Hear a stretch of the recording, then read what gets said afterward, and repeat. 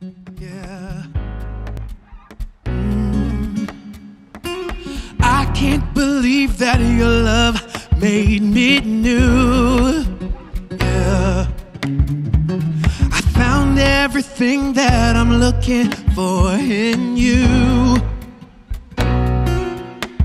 Mm, lost and afraid, but you called me your own. Too far to be found. You're my home.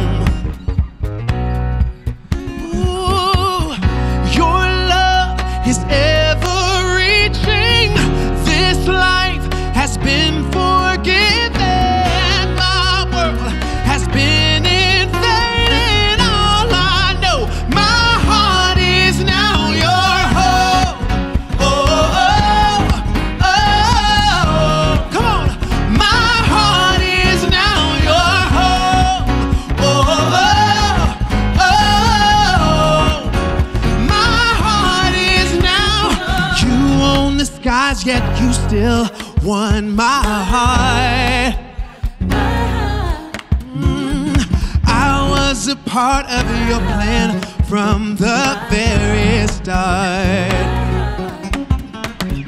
All of the shame from my past fades away. Ooh, you know the depths of my heart. You still love me the same.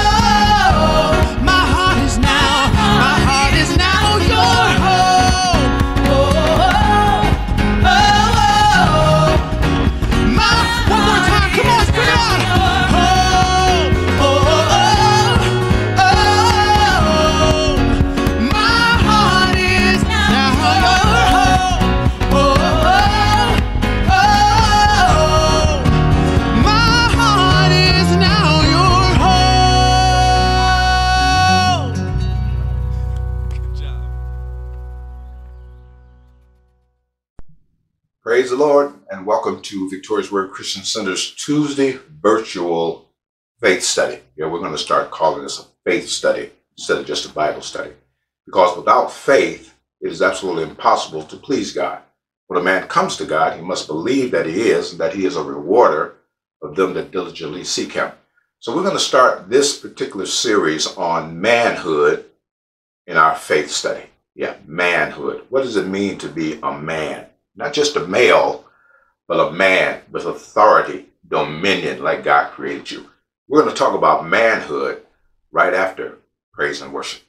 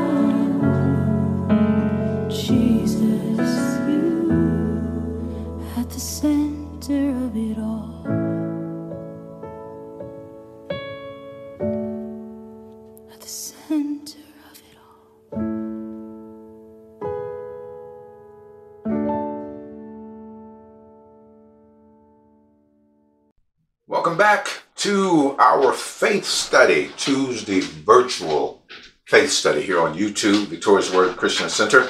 I'm Pastor Les, and we are walking by faith. Yeah, we walk by faith and not by sight. Listen, we're going to talk about manhood in this next series. Manhood, yeah. Not malehood, not boyhood, but manhood. It is certain characteristics that a man of God possesses in the kingdom. And we want to go through those. First, we're going to pray, and then we're going to start in the book of Genesis, the first chapter starting at the 26th verse. Genesis, the first chapter starting at the 26th verse. Father, we thank you now for your goodness, mercy, and your grace. We thank you now that the word today will go forth unhindered and unchecked by any outside force concerning these men. You have men of valor that are looking at this broadcast right now. They may not know they're men of valor, but they will realize their authority and their dominion that you gave them in the kingdom once this series is complete. Now, fathers, we study manhood. Bless every man within the sound of my voice and that lays eyes on this particular YouTube teaching on manhood. Father, we thank you now. We rebuke every foul and unclean spirit that will come against the redemptive testimony of every man that desires to change and walk in kingdom manhood. Father, we thank you today. We give you praise, we give you honor, we give you glory. In Jesus' name, thank God. Amen. Praise the Lord. Listen, I want you to do something for me today. You know what I want you to do. I want you to do three things for me. Number one, I want you to subscribe to our YouTube channel, Walk in Victory at sbcglobal.net. We're called Victorious Word Christian Center Church on YouTube. Yes, right here on YouTube. Victorious Word Christian Center Church. Subscribe on YouTube. Then I want you to like the broadcast. You need to like the broadcast. Let us know that we are having a positive impact in your life. We'd love to know that. And then I want you to share. I want you to share with your neighbors, your friends, your co-workers, your relatives, even your frenemy. Yeah, your frenemy can be transformed and changed by these lessons, like this series starting today on manhood. Now we're going to have fun today. And listen, do that for me, won't you? Subscribe, like, and share our YouTube broadcast. Praise God. Listen, we're going to go into Genesis, the first chapter, starting at the 26th verse. And we are going to establish a scriptural understanding of the relationship between a man and his creator, his maker, our God. Not just a God, but our God who's alive. Jesus is alive and he's seated right now at the right hand of God the Father in heaven making intercession for the saints. You and I. He's making intercession. He is opposing the accuser of the brethren called Satan right now. Satan comes to the throne to make accusations about what you are not. Jesus counters those accusations with what you are and who you are, and that is the righteousness of God in Christ. If any man be in Christ, he's a new creature. Behold, all things have passed away. Yeah, that stuff is gone. And all things have become new. So, yeah, we are just looking forward to giving you an understanding of how you're a new creature if you've accepted Jesus as your personal Savior. Now, this is contingent upon the born again experience. Yeah, you must be born again, which means your spirit man has to be awakened to the righteousness of God that is in Jesus Christ. So you've got to accept Jesus if you expect to receive this miraculous, supernatural transformation. Yeah, it's spiritual. It has some natural effects, but it's spiritual. Yeah, we have to be born again of the Spirit. Amen. The inner man, our mind, our will, our imagination, our emotion, our intellect, all that must change and it becomes alive when we accept Jesus as our personal Savior. I want you to go on this journey with me as we look at the relationship between a man and his Creator. We as men, we need to know our purpose. Oftentimes men will wonder, why was I created? Why am I here? Why am I going through the things that I'm going through? Why did I have to go through what I went through? Well, because God has a purpose for us before the foundation of the world. Before your mother and your father ever get together as a couple, God has a purpose for you if you are in the earth realm. There was a reason why you were not aborted. There was a reason why you weren't stillborn. There's a reason why you're still here after everything you've been through. It's because of the grace of God. your unmerited favor. You didn't deserve it. No, you didn't deserve what God gave you. You didn't deserve to be alive. We all, at some point in our life, until we got born again, deserved hell and hellfire. But Jesus came that you and I might have life and have it more abundantly. But the thief cometh but for to steal, kill, and destroy. Yeah, the thief wanted to steal the purpose that God had for your life. He wanted to kill your spiritual connection and literally kill you if he could in the process. But God had his hand on you. God had his hand on you. Yeah, that's why he couldn't kill you then ultimately his ultimate goal, talking about the enemy, his ultimate goal was to utterly and completely destroy us in hellfire. But I'm so glad that there's a God. It's the reason for my being? Why was I created? Why am I here? Why did I come through the family that I came through? Well, there's a there's an answer to that in the Word of God. And our goal is that every man viewing this broadcast will understand the foundational truth of why he was created, the purpose why he was created, and then learn how to stay in that God given purpose consistently. How, Pastor? Through obedience. I have a confession for you today. Let's do this confession. Father, I thank you that is my intention to walk in divine purpose. I receive the Word of God today, and I do it in obedience to what the Word instructs me to do.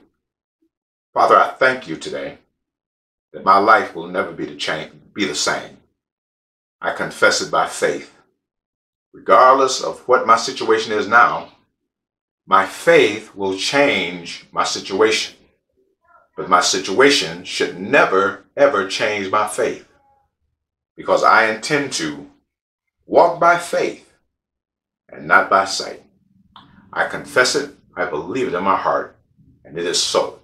Manifesting now in Jesus' name. Amen. Let's look at Genesis, uh, a few verses here in Genesis, first chapter, and kind of give us a foundation of where we're going in this particular series of lessons called Manhood. In this particular piece, we're talking about a man and his creator, or a man and his relationship with God. Why is this so important? Why is this so pivotal that we as men, I'm talking about male men, have a relationship with God? Well, it's pivotal and important because we should be and are expected to be by God the standard bearers of our family. We're expected to be in the front, not leading from behind. You cannot lead from behind. You have to lead from the front. So, men, we are expected to and required to lead our families from the front. They should have enough confidence in us to follow us in our God given path. So, here, trust in the Lord Jesus Christ with all your heart and lean not, lean to the left, don't lean to the right, don't lean to the back, don't lean to the front. Lean not, don't lean, stand straight. Lean not into your own understanding. Don't try to figure it out. Oftentimes we get off because we try to figure God out. We can't figure God out. His ways are beyond finding out. Because his ways are not like our ways. His thoughts are not like our thoughts. The Bible says as far as the east is from the west, the east and the west never meet. It never meets. Because it's perpetual. That's east and west right there. This is north and south. The north and south eventually meet. East and west never meet. So trust in the Lord with all your heart and lean not to your own understanding in all of your ways, not some of your ways, not the majority of your ways, in all of your ways, acknowledge him, and he shall direct your path. Lord, where have you directed me to go with my family? Where have you led me to find a mate? Lord, where have you led me to lead my children? Where have you instructed me to make this decision? Where have you instructed me to do this and do that? That should be our clarion call, our prayer of confession and confidence in God. Lord, what would you have me to do? It would save us from having to experience a lot of pitfalls in our life, a lot of mistakes, because we have not consulted God as men and leaders and heads of our household, not bosses, not overseers but the head of our house, leading in righteousness and true holiness. So let's look at Genesis, the first chapter, and the 26th verse. And it starts off with that familiar phrase. And God said, God said something. God spoke something. God spoke exactly what he desired. And that is the way he desires us to function. We need to speak exactly what it is that we desire. What do you desire today? Whatever that is, you and I need to start speaking it. Calling those things that be not as though they were. Using our voice to attract what we desire. We can have whatsoever we say when we ask in faith according to God's word. So God said, here's what he said, let us, that's real interesting that God would say, let us, as though there was a partnership going on, a collaboration, an agreement. There was with God the Father, God the Son, who was the Word then, and God the Holy Spirit. These three are one. These three, the Father, the Son, and the Holy Spirit, these three are one because they are so closely connected and, and, and knitted together in agreement. They operate and move and conduct themselves in the one mind, not a divided mind. Jesus and the Holy Spirit say what God says. God says what Jesus and the Holy Spirit says. So it's, it's a collaboration, but it's so unified until there is no division. There's no schism. There's no divide. There's no break there. They're in total unison. Let us make this creature called man in our image. He should look like, conduct himself like, speak like, and move like we do. There should be no differentiation between this man and the Godhead. Let us make man in our image after our likeness. He should be just like us, conduct himself like us, speak like us, move like us. And in doing that, he will get the same results as we do. Let them have dominion over the fish of the sea, over the fowl of the air, over the cattle, over all the earth, over every creeping thing that creepeth upon the earth. So God created man in his own image. This man, this creation, looked like his maker. Man came out of the mind of God. God desired a family, so he created a man. And it was not because God was lonely. God can never be lonely because everything God desires and needs and wants is already in him. Or he can keep himself perfect company. But he desired a family in the earth. God is all about family. That's why you just can't arbitrarily walk away from your family, your wife, your children, those that you love. God is a God of family. Somebody say family. And I declare and decree today by faith that your family shall remain knitted together in unison, one unit working together for a common purpose. Man, don't walk away from your wife and your children. Let God and His Spirit work it out. And we know that when we are saved and filled with God's Holy Spirit, and born again, we know that all things in fact work together for good. For them that love God and for them who are the called according to his purpose. So it'll work out. You got to stick and stay. You got to put the work in. You got to make the sacrifice. Give a little, take a little. Give a little, take a lot. But it'll work out in the end.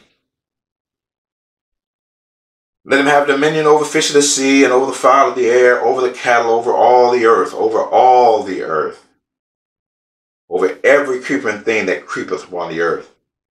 So God created man in his own image. In the image of God created he him. Male and female created he them. And God blessed them. God said unto them, Be fruitful and multiply, replenish the earth, subdue it, have dominion over the fish of the sea, over the fowl of the air, over every living thing that moveth upon the earth, dominion, rulership, ownership.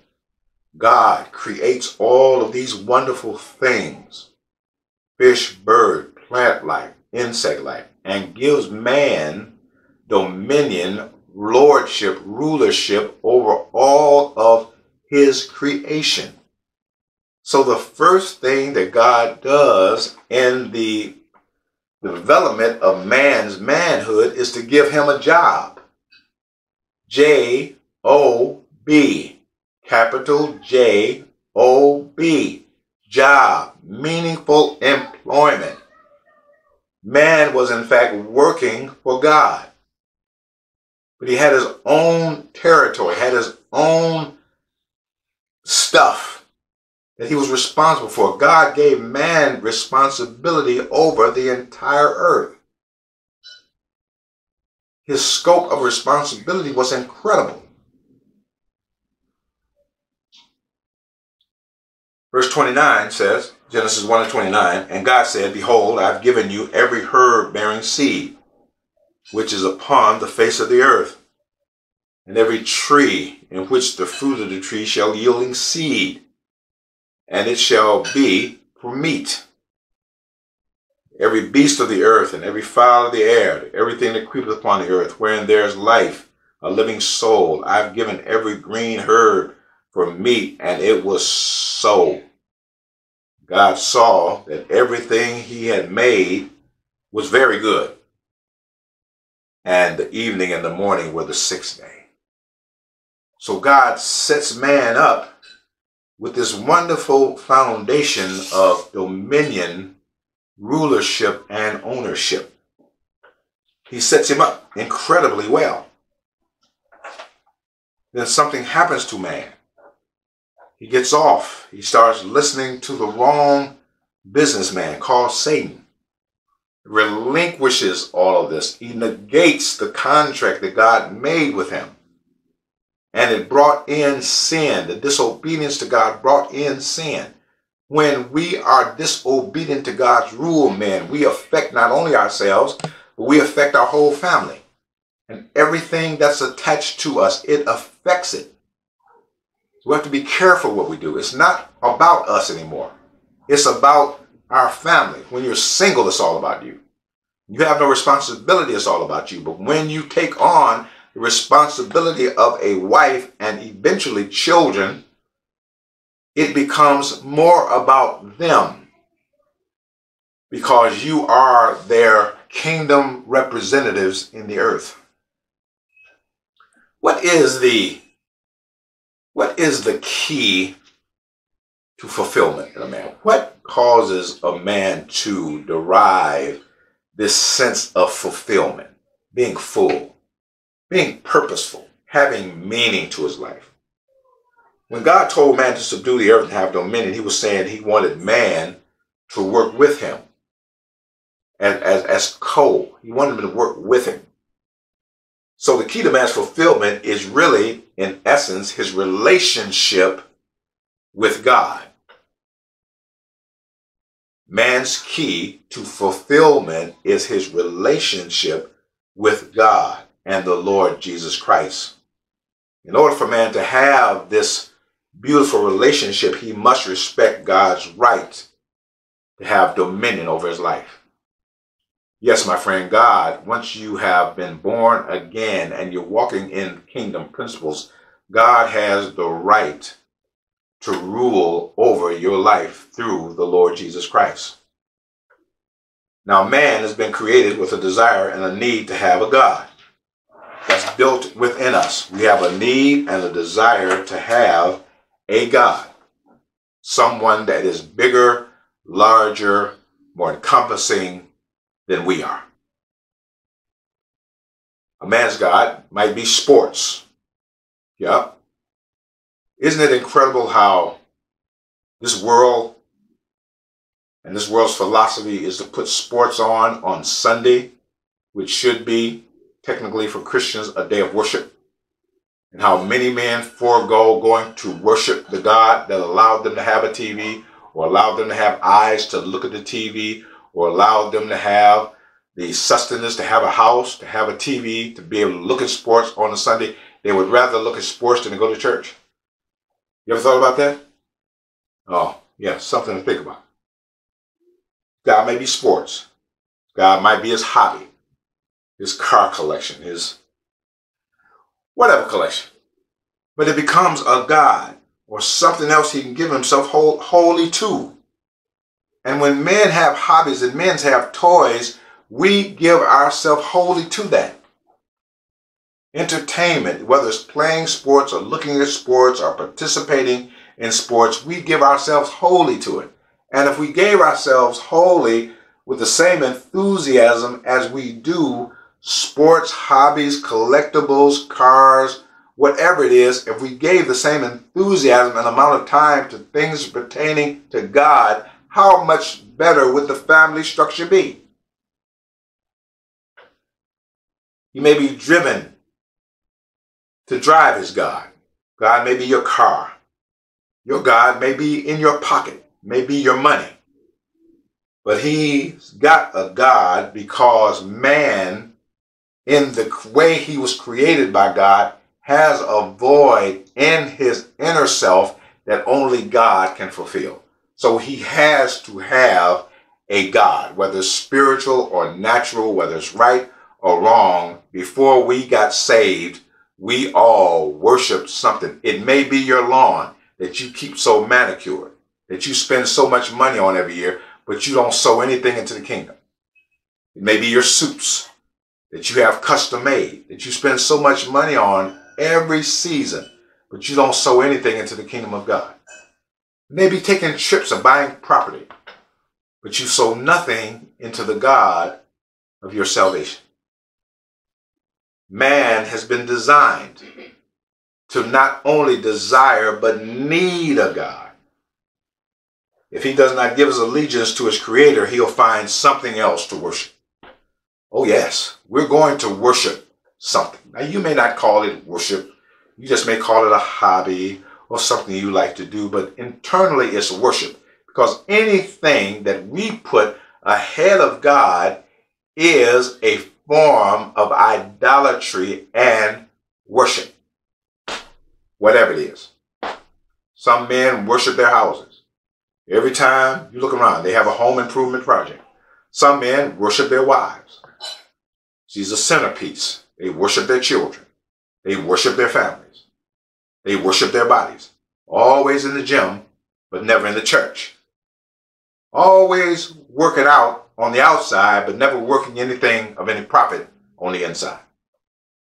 Does not give us allegiance to his creator, he finds something else to worship. Here's what Romans 10 and 3 says. Romans 10 and 3. For they being ignorant of God's righteousness and going about to establish their own righteousness, have not submitted themselves unto the righteousness of God. They have not came under men the authority of the righteousness of God. We fall in position under God, not above God, under God. So let me read this again. Romans 10 and 3. For they, being ignorant of God's righteousness, why were they ignorant of God's righteousness, Pastor? Because you never go to faith study, Bible study. You never go to church. You never hear the word of God. If faith comes by hearing, and by hearing the word of God, and you never hear the word of God, you have literally no relationship with God at all. You don't have a relationship with God just by virtue of the fact that you go and park your behind in a pew on every third Sunday, every fourth Sunday, two or three Sundays a year. That's not relationship. If I have relationship with you, if I have relationship with my God, if I have relationship with my creator, my maker, then I am regularly fellowshipping, communing with him, communicating with him inquiring of him for wisdom and knowledge and understand. I'm regularly at his feet trying to acquire more wisdom, more knowledge, and more understanding. Ever wondered why in some countries, particularly third world countries, they have a God for everything? They bow down to rocks and to cows because God has engineered us in such a way that we need to give obedience to something greater than we are. We need to have that. That's inherently built in us. That's built in our DNA. We need to have a God. We believe in something greater, whether it's right or wrong. How can people be involved in a cult? How can people be involved in false doctrine? Because that desire is inherently in us. We have to depend on something far greater than we are. So we are perpetually, all of our lives, in search for God. And there is only one God that can fill that void because there's only one true and living God, and that is the Lord Jesus Christ. For there's no other name given under heaven among men whereby we must be saved. The name of Jesus, because God has highly exalted him and given him a name that is above every name. Above every name. His name is above every other God. His name is above disease. His name is above trouble. His name is above tests, trials, and tribulation. His name is above. Whosoever calleth upon the name of the Lord Jesus Christ shall be saved. Scripture tells us, talking about fulfillment factor, the scripture tells us that man discovers his lordship factor when he understands that he was made by the God of the literal universe. The same God that hung the stars in the sky on nothing. What are the stars hanging on? Invisible strings, rope, thread. What are they hanging on? They're hanging on nothing but the Word of God. What is the earth revolving around? The axis, which is the Word of God. A few miles closer to the sun, we would burn alive. A few miles further from the sun, we'd freeze to death. But God set the sun and the earth in perfect relationship, that we have seasons. As the earth circles and revolves, seasons change. Nothing stays the same. That's why what you're going through now, my brother, my son, my fathers, what you're going through now, it came to pass. This too, that you're going through now, shall pass. And listen, let me pray for you right now. I, I sense that some of you are going through great trials and tribulations right now. And it doesn't seem like there's any way out for you. But let me guarantee you this seasons change, nothing stays the same. This too shall pass because it came to pass. It didn't come to stay. It came to pass. God's design is lordship for man's relationship with him. In other words, God does not want to be your partner. No, he wants to be your Lord. He's not your running buddy. He's your Lord. He's your Savior. He's your Master. So we get that understanding.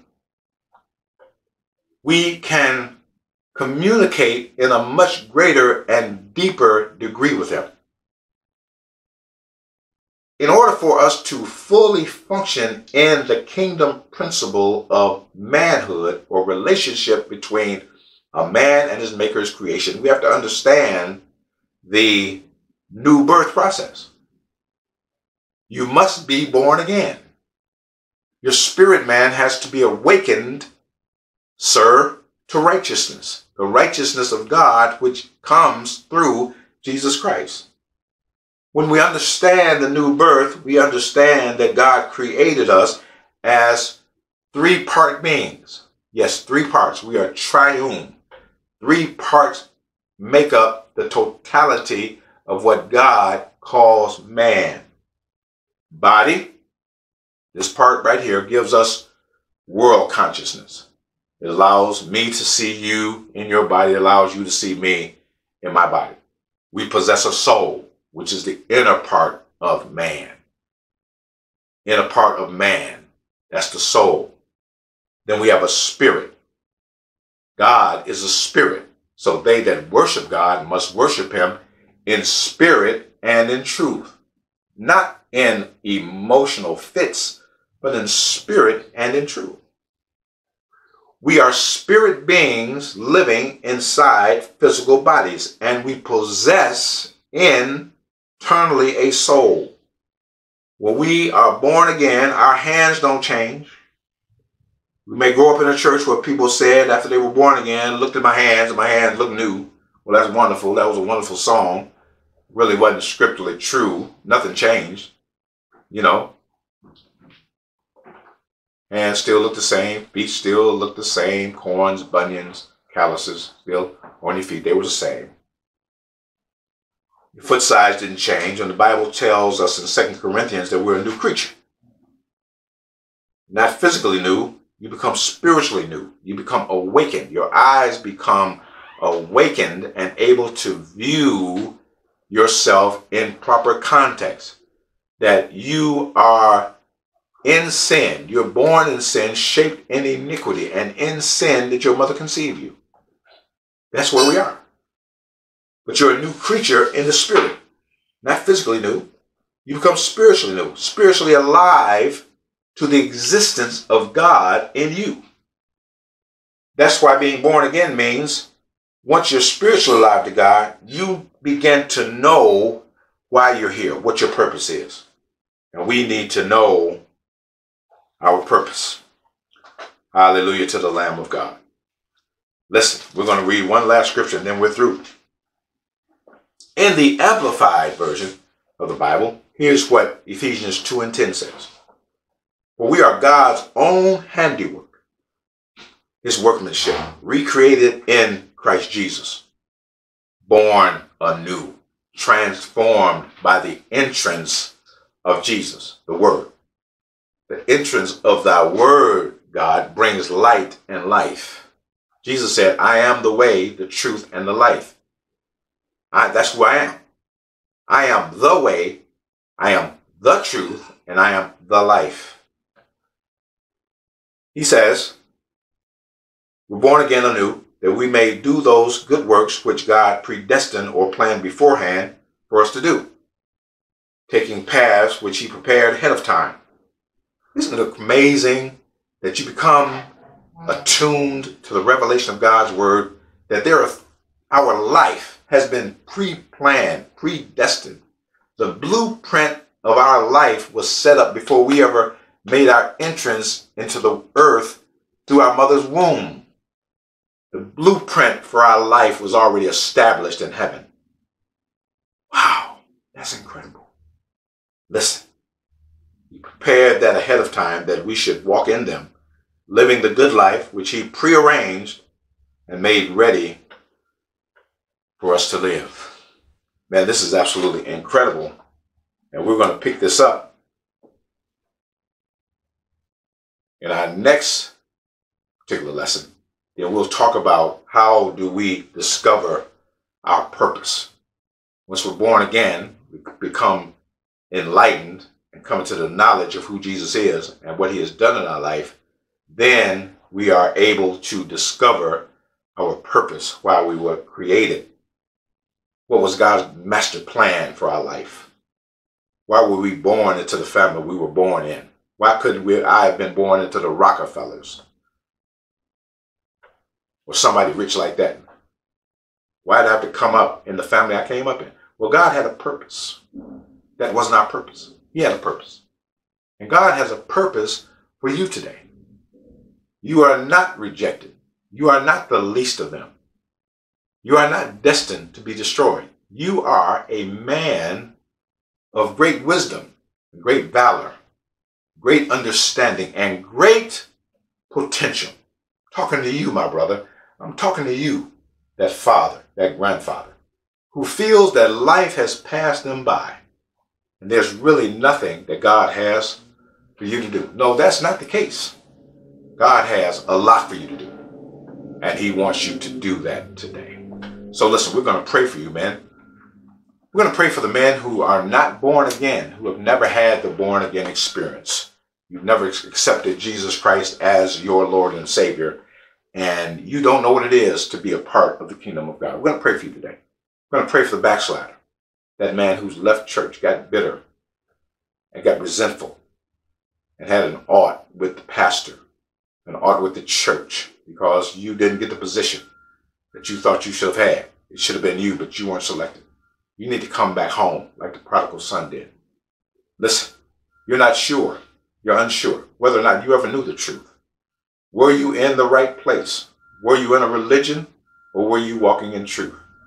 And then there's the unconnected. Yeah, you need to be connected. Everybody needs a man or woman of God to lead you and guide you through the scriptures. How can they hear without a preacher? How can that preacher preach except he be sent? Listen, talking to you today. So we're going to pray, and I want you to repeat after me. Talking to you men today. You men that are prideful, and a little arrogant and self sufficient and don't think anybody can tell you what to do. So you're a man, you know, I'm macho. I've got several layers of muscles and I've got several degrees and got several businesses, own several cars, houses. All that's good until you close your eyes and you exit that which is temporal and you find yourself into eternity standing before God that you never served. So we're going to pray today. I want you to pray with me. We're going to pray together. We're going to unify as men. So pray with me now. Father, in Jesus' name, thank you for saving me. Thank you for causing me to experience the born again love of God. I thank you that you gave me another chance in the land of the living. And I appreciate you, God, and I love you for it. Thank you, Father, for bringing me back to the fold like you did the prodigal son. I appreciate you.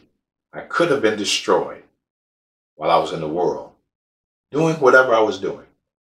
I thought I had a better idea and a better way than you did. But you didn't allow the enemy to destroy me. And you gave me several other chances. And I thank you. Father, I thank you now that I know the truth. And the truth has made me free. I'm free in my mind. I'm free in my body. I'm free in my spirit. I'm free in my soul. I'm free in my intellect. I thank you for being free. The Son has set me free today. And Father, I thank you now that I am connected to Victorious Word Christian Center. Thank you that you sent me to a loving, faith filled, family oriented, non judgmental ministry like Victorious Word Christian Center. And I thank you for it. And I intend to work just for you for the rest of my life. And Father, I appreciate you and I love you.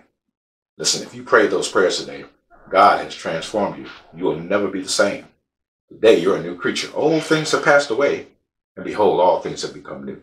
Listen, if you desire to connect with Victorious Word, it's real simple. Listen, here's the email address walk in victory at sbcglobal.net. Walk in victory at sbcglobal.net. That'll connect you with us. If you desire to connect with us in membership, listen, our faith studies are starting in August. I want you to be there. We're not going to call it Bible study anymore. We're going to call it faith studies because we are firm believers that without faith, it's absolutely impossible to please God. You've got to know what faith is. You've got to know what pleases God. In everything we do, we want to and should desire to please God. We want you in those faith studies. Listen, if you care to sow into Victorious Word Christian Center Church, only if you don't have another ministry, or maybe you do have another ministry, but God just impressed upon your heart to sow a special seed. We won't turn that away. But by all means, if you have a ministry and a pastor, you need to sow where you eat, sow where you go, we call it. But if you desire to sow a seed, this is good soil. We've seen signs, wonders, and miracles follow the preached word. And the same can happen for you. Listen, I'm out of time, but I'm not out of word. We'll be back to talk more about manhood in this next edition of Walking by Faith. Listen, I want you to tell somebody. I want you to tell anybody. I want you to tell everybody that Pastor Les told you personally to walk by faith. Walk by faith. Walk by faith and not by sight because we're always victorious through the word. I'll see you next time.